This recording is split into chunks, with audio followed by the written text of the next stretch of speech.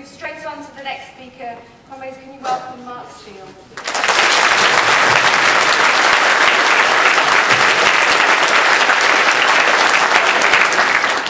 Thanks also for, for inviting me. It's uh, a pleasure, it's indeed pleasure to be here. Uh, and also, uh, because just as Kim is absolutely right, that this is um, a brilliant time in which to have a, a conference in which its subheading is Marx is right. What a brilliant week in which have a uh, conference in which the, the basis of it is that the world can be changed. I mean, that's the, the biggest enemy we face on the left. Years and years and years it's a cynical one. Yeah, yeah, yeah, you may well be right with all your ideals, they'll be marvellous, but the world can't change. And this week, at least, it really would be a very, very difficult argument if you said to someone, nah, nothing ever changes in this world. That would be quite extraordinary. Things have changed to the extent that now everybody loves a banner. That's what I love about it. When the, when the right wing are beaten, even George Bush, this is a marvellous historic moment. marvellous historic moment here, this moment that I've dedicated my entire life to making sure never happens. historic moment, yeah. There's John McCain, yes, one, marvellous, well, I'm congratulated. I congratulate him on making me look like one of the century's biggest buffoons. it's absolutely that it's possible uh, at all. Of course, and now all these other people coming up, oh, we think it's marvellous that Barack Obama's there. I mean, I know that during the campaign we called him a sneaky black African American bloody terrorist bastard. Take your money in taxes and, and sell you all off to Al Qaeda, but that campaign, now it's a marvellous thing power. And of course, of course it can look like, well, it was inevitable, just like the old saying, you know, that all the things that, that, uh, that once appeared impossible then become inevitable. Of course it can look inevitable. Of course he could look, well, Bama had it easy because there is this character who somehow the Republicans found as their candidate who seems to be the most idiotic person in the whole of the country, except that having scoured the length and breadth of the nation, he did manage to find one person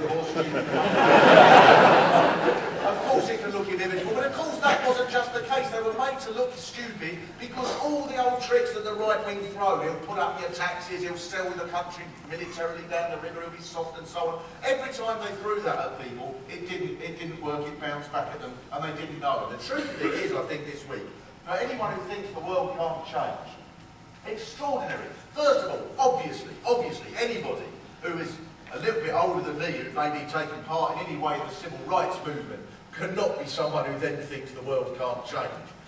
And the, the Barrow certainly wouldn't have been possible without that. But also, when you think just four years ago, even the most optimistic of us, it seemed to us that this project for the new American century seemed invincible. It seemed that they could do anything. They'd been into Iraq. They'd got their bloody person who organised it, or who was at the front of it, re-elected. They seemed as if there was nothing that could be done about it. And now they lie in tatters. The project for the new American century did not, as far as I was aware, have as its end that the president would, who'd organised it would end up as the most discredited president uh, ever, who sort of already seems to have just sneaked and slipped out and probably isn't allowed into clubs and isn't on the list and so already.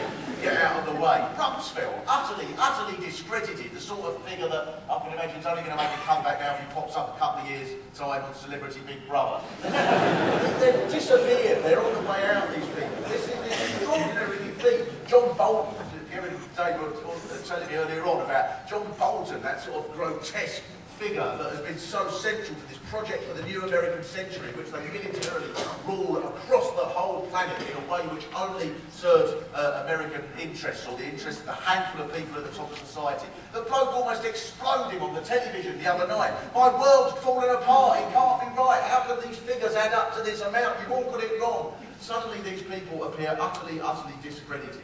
And that clearly says to anyone who can call himself a human being as far as obviously, let alone a socialist, that the world can and has changed. And then you compare it. I love the fact that uh, New Labour's response, you too, Gordon Brown has the audacity to sit there and congratulate him. You think, oh, oh Bama, please don't think that this is it's going to be like being president, have to take that sort of thought. Uh, but, and then Peter Mandelson having the audacity to give him advice. Mr Obama, I, think, let's take a bit of advice off someone who knows how to make themselves popular. and, and then you compare it. See, there was one little incident that I think encapsulates so many of the things that people at David Kevin have said about Labour. And it came at a moment I wasn't expecting it, when I was driving along through London listening to the cricket commentary. uh, in your August of this year. And the test match commentators, for those of you who don't know, are fairly posh. And uh, one of them was saying, absolutely terrible getting into the ground this morning, took 45 minutes, right on shenanigans, uh, something to do with security, increased security measures. Um, don't know what, what caused it all, but anyway, there we are, you know, that's the way of things these days, security everything. And then out of nowhere came the voice of Geoff Boycott, right, the old Yorkshire cricket commentator, uh, cr- cricket player, who just went, you've Tony Blair to thank for that. this startled me a little bit, and the commentator said, what on earth are you talking about? And Boycott said, I'm telling you, you've Tony Blair to thank for that. he was told that if he was going to go around supporting wars, uh, invading places illegally, uh, that you have no place in being, that it was going to increase the risk of security, but he decided he didn't have to listen because he knew best. So there you are, now uh, it takes 45 minutes to get into ground.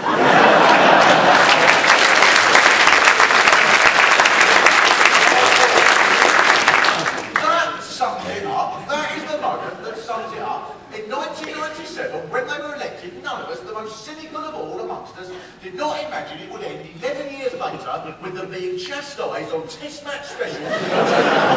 Another American asked by Jeffrey Bloody Boyd. that is the extent to which they have uh, to which they have been appalling. If you were to speak to anyone now under the age of about 30 and say that the Labour Party started out as a socialist party that was proud to be socialist, that whatever disagreements we might have had about it, it was a radical party that stood up for the working person against the millionaires and so on. I'm sure anyone under the age of 30 must just must just look utterly bemused. As if someone has said something truly surreal, like, you know, the Church of England started out as an aquarium or something. Everything that people have said about that, that the gap between rich and poor has increased in the last 11 years. After Thatcher, we allowed to Thatcher, she thinks that she and, and a silly idiot that came after her, after her they think they've made the gap between rich and poor big. We'll manage to increase it even more. That's their achievement, and so on and so forth. The extent now to which big business dominates every area of life. No, the company that runs hospital car parks made 93 million pounds profit last year. That's, see, that's modern thinking. This is the modernising that Peter Mandelson's talking about. Modernism, in the old days, these old dinosaurs would never have been innovative enough to think, they'll be living, they've got no bloody choice, we can't. Genius, anyone who's got kids or has duties to go into a school or the, the teachers at one knows that these places are covered in advert, Tesco's for computers, as if Tesco's have provided these computers out of utter kindness. And they just look at the computers. Why don't you give them to primary schools? They advertise in the schools. Everything about a school is about privatisation, franchised out, and the sports hall is franchised out to Jarvis Ramada and so on, so that they can make money. Every little bit of it, and of course the private finance initiative at the, at the heart of all of that. Everything. Schools are a place to make money. Everywhere is the same. And Peter Mandelson absolutely right though to mention that. I mean, that is the epitome of what these people are about.